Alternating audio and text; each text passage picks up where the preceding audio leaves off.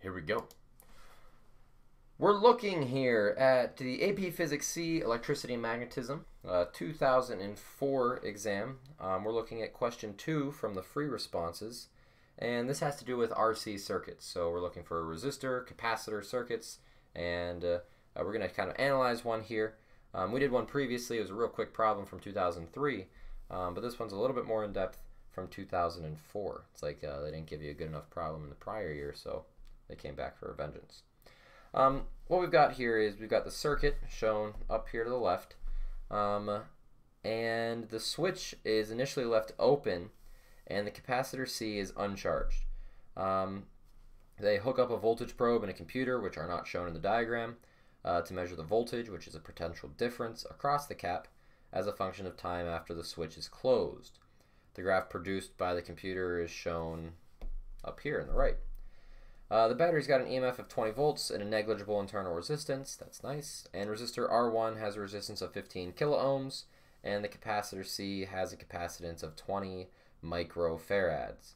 We are asked to determine the voltage, voltage V, across the resistor R2, which is this one, immediately after the switch is closed. So, how can we go about doing this? Well, let's take a look at this real quick. We know that immediately after the switch is closed, so let's close the switch off, that capacitor is still uncharged. And an uncharged capacitor acts just like a line of wire, and we imagine it has no resistance to it, the current's just flowing easily. So the circuit we're going to have here, because this is just open, we're just kind of shorting the system out, is we're just going to run around like this. We're going to completely ignore the middle because that takes some energy to get across that. I don't want to bother with it. I'm just going to go around the outside, make life nice and easy because it's free to do so. So all we need to do to find the voltage after that, or across the resistor, is say the following. Well, on this side of R2, I'm at 20 volts. So I'm at 20 volts here. That's the top side of our battery, the positive edge. And then I go across R2, and then I come back and I hit the end of the battery. And that means that this is at 0 volts. So going across R2 is just a 20 volt drop. So that's all I need to say there. I can just say that the voltage across R2 right now is 20 volts. That's all it is.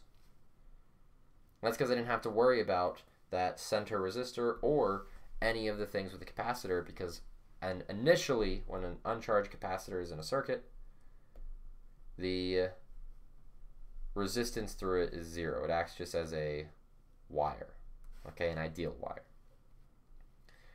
Um, determine the voltage across R2 a long time after the switch is closed. Ah, well now we're getting interesting. So we're still looking at R2. So we're still looking at our pink friend right here. A long time after the switch is closed. Well, a long time after the switch is closed, this capacitor is going to be charged up and uh, it is not going to allow any more current to pass through it. So what's going to happen is we're going to get a potential drop across R2 and we're going to get a second potential drop from here to here across the R1 resistor there. Now, we're not exactly given what that potential difference is across R1. They don't exactly come out and say it, but they secretly do. And that's what this graph is for. Um, we know after a long time, and we can see at a long time, this graph is kind of leveled out here, and it's leveled out exactly at 12 volts. Well, since R1 and the capacitor are in parallel, you know, we've got branching paths, one going this way, one going this way, they have the same voltage across them. So if the voltage across the capacitor right now is 12 volts, that means the voltage across the resistor right now is 12 volts. And if we think back to more formally Kirchhoff loops, I need to drain 20 volts out of this system. I'm starting at 20, I'm going to lose some mystery amount, I'm going to lose 12, and it's going to bring me back to zero. So the way I can kind of say this is that I can say the 20 volts that I have minus whatever voltage drop I'm getting across R2 minus the voltage drop across R1 brings me back to zero. If I know the voltage drop across R1 is 12 volts, well, that means the voltage drop across R2 has to now be 8 volts. Okay? So we're just looking at an old Kirchhoff loop kind of idea there. We're trying to lose all of our potential. If R1 is taking 12 volts and I need to get rid of 20, then R2 has to give us 8. Okay, so not that bad there. Um, we need the value of the resistor of R2 though. Ooh, okay. Um, we actually kind of did this back in the 2003 example. Um, in the 2003 example, we did something very similar. Um, what we're going to use here is not the initial time, but at a long time later. Um, we know that in this setup here, uh, a long time after the switch is closed, we know that the system just kind of sees R2 and then R1 here. Uh, the capacitor over here is just nothing. It doesn't see it anymore. And we also know that we're going to get an 8 volt drop here and a 12 volt drop across that resistor. So we can do this in a few different ways. Um, one way in which we can do it is uh, we can actually, knowing that this is a, oops, know that this is a 20 volt EMF source, uh, we can actually calculate the current passing through R1. Um, the way we can do this is we can say, because we know this resistor R1 here, we know this is 15 kilo ohms but we don't know what R2 is. That's what we're trying to find. Um, we can still find the current in this system though, because that's what we can do. If we have a current and we have a voltage drop, that'll give us what we need. Um, in order to get that current, we know that from Ohm's law, V equals IR. This V is a voltage drop across a specific component. So this is our R1, the 12 volt right here. That equals some current times the resistance, which is 15,000 ohms, because that's kilo ohm. We do that division, and uh, let me just throw it in the computer real quick.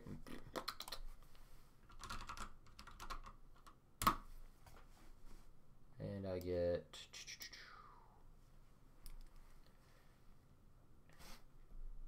a current here of 0.8 times 10 to the minus 3 amps. So that's the amount of current running through this entire system right here. Now that current is also running through the initial resistor, so now all we have to do is say, well, for the initial resistor, R2, why is the initial one R2? Whatever. All we have to say here is that an 8 volt drop equals the current 0.8 times 10 to the minus 3 amps times that value of R2. When we take 8 volts and divide it by 0.83 times 10 to the minus 3 amps, we see that R2 is going to be quickly 10 kilo ohms. Okay, so we had to find the current first using the second resistor. And then once we had that current, we could take that current and bounce it back into the first one. Okay, so not that bad there. We haven't done anything too crazy yet just kind of thinking about capacitors, doing a little bit of Kirchhoff, um, and looking at uh, energy, and then just working through Ohm's law. Um, uh, for part D, what is the energy stored in the capacitor a long time after the switch is closed? Well, if we're looking for a long time after the switch is closed, then the capacitor has become fully charged, and we know that when it, the capacitor is fully charged, there's 12 volts across it. Now you might not remember this equation, but it's sitting right there waiting for you on your AP Physics C equation sheet. Um, and they're looking at an stored energy. Well, any stored energy is a potential energy, and we could write this as 1 half CV squared for a capacitor. We know the capacitance of our capacitor here. They gave it to us. Um, they gave it to us right here.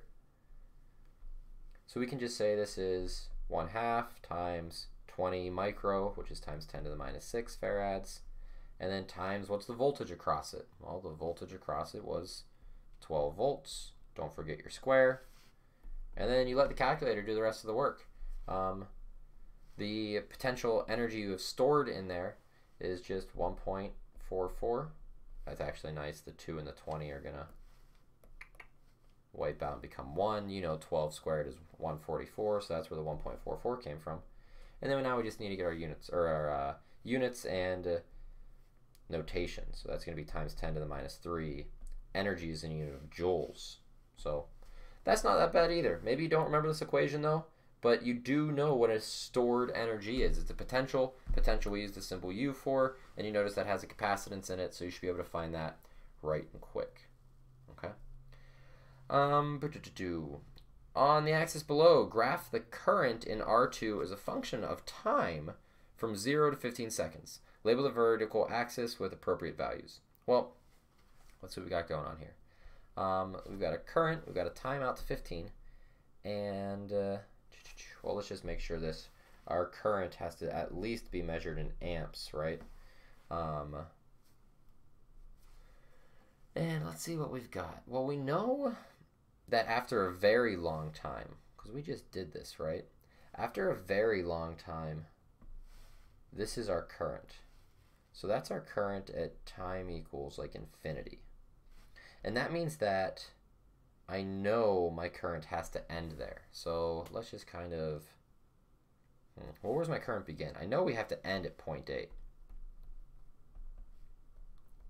And that's actually 0.8 times 10 to the minus 3. So maybe it's just best to say the current here is uh, times 10 to the minus 3. Where do we begin with our current, though? Hmm.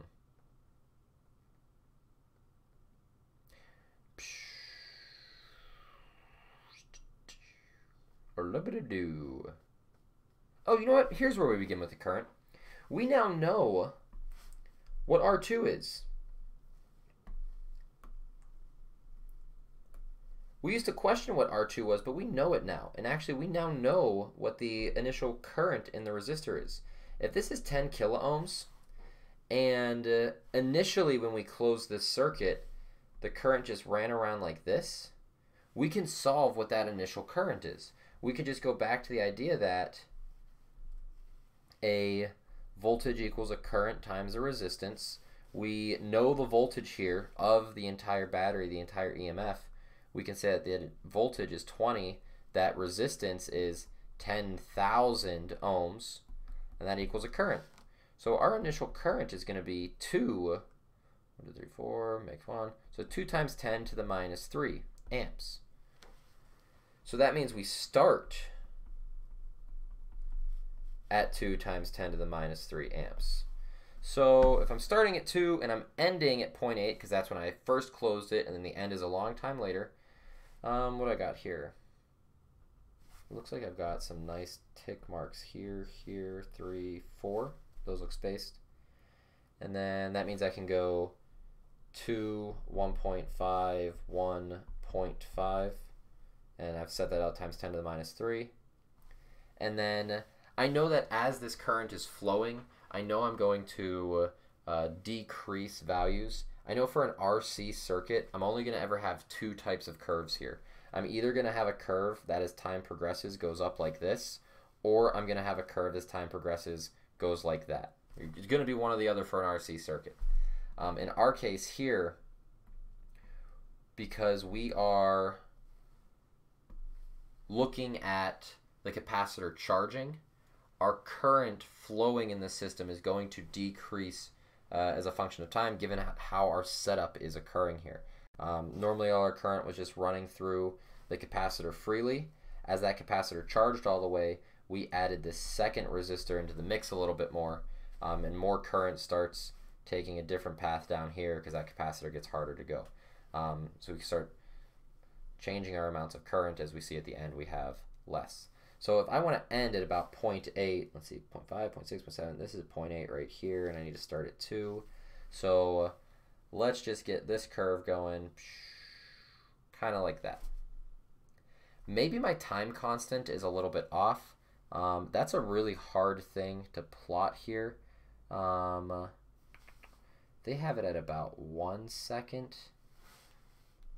Notice here that I look at the voltage and the voltage is halfway at one second here. So maybe if I wanted this to be a little bit more accurate, I could uh, do this all the way at one second. But if I did that, that graph would be like super steep and then die off. If I did that for realsies, it'd be like, which would be weird looking. So uh, let's just not worry about it. Um, they actually didn't worry about it whenever they did the scoring rubric for it. They just said like, look, is your curve the correct direction? You know, is it coming down like that? Um, and do you have the correct starting and ending points? Which we do. But if we wanted to, it'd be like super steep. It'd be like. But who cares? Still the same shape. Um, okay, so I was just graphing. That wasn't too bad. We knew what the graph was going to look like. Um, let's see. This is the last part, actually. I'm loving these RC circuits. A resistor R2 is removed and replaced with another resistor of a lesser resistance. Um, switch S remains closed for a long time. Is the energy stored in the capacitor greater than, less than, or the same, equal, as it was when R2 was in the circuit? Hmm. Well, our energy equation that we had was U equals 1 half CV squared. And the 1 half is going to stay the same. It's a constant. The C was based off our capacitor. It's a constant. The question is, did the voltage across the capacitor change whenever we decreased the resistance in that initial resistor? Well, let's think about this. If we decreased that resistance all the way up here in R2, then what is going to happen? What is it asking? Is it saying a long time later? For a long time, yeah, a long time later. So what's going to happen is if there is less resistance here, then a long time later, remember, a long time later in this game, we don't even see the capacitor anymore. So let's call this like a 5 ohm resistor, like something super small, right? Let's you know, let's give it like something so small it doesn't even matter. Let's give it like point zero zero zero zero zero zero one. Like it doesn't even matter here, right? Like maybe it's just the 15 that's left. Well, if that's the case, a long time later, the current's not going to go through here. And uh, all we're going to see is that the voltage drop from here to here needs to happen entirely across the R1 resistor. Because essentially this R2 resistor up here, it's essentially zero. It essentially has gone away. I've made it so small. And if I'm just going across that R1 resistor a long time later, that means the voltage drop here is 20 because I had to go from 20 volts to 0 volts. So that's a voltage drop of 20, which means I have a voltage drop of 20 across the capacitor because they're in parallel, so the voltage drops have to be the same. So if initially whenever I solved my energy, my voltage drop across that cap was only 12 volts, and now I've just upped it to 20, well, I've just gotten more energy, haven't I? And that's all we have to say. Our energy is going to be greater than this. And the reason why is since that R2 has a smaller resistance, or even if it's totally removed, the total resistance of that system is decreasing. Um, we can put more of a resistance through that R1 resistor or through that resistor series if you still had R2 there. And because of that, that voltage drop across R1 has to be a greater value. You're getting a lesser voltage drop across R2. More of that has to be done by R1. And since that capacitor is in parallel, it is getting a larger voltage drop across it, which results in a larger energy or larger stored energy. So that's how we can look at that there. Okay. So yeah, that's another RC circuit problem just down. Um, just kind of analyzing some graphs, plotting stuff out, and really just using a lot of Ohm's law. Um, these two RC circuits, they really didn't have us derive anything. They didn't have us, you know, work out charge as a function of time, although I'm sure there's a question out there that does it. We'll get to that one later.